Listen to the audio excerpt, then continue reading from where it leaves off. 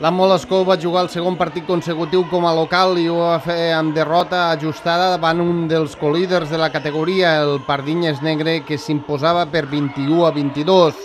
Un partit en el qual les riberenques van estar ficades al partit en tot moment i van donar rèplica, arribant al descans amb un ajustat 12 a 13. La major efectivitat del conjunt de la terra ferma les permetia resoldre en un tram final molt disputat. Després de dos derrotes seguides davant l'afició, el conjunt esconenc es desplaçarà aquesta setmana a la pista del líder, el Granollers Atlètic, diumenge a partir de les 11 i mitja del matí.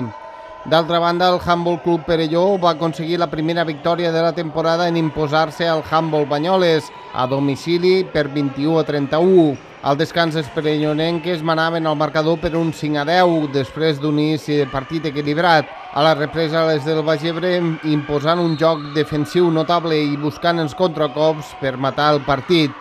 En la propera jornada rebran diumenge al pavelló municipal del Perelló al Palau Tordera, quart classificat a la Lliga, a partir de les 6 de la tarda.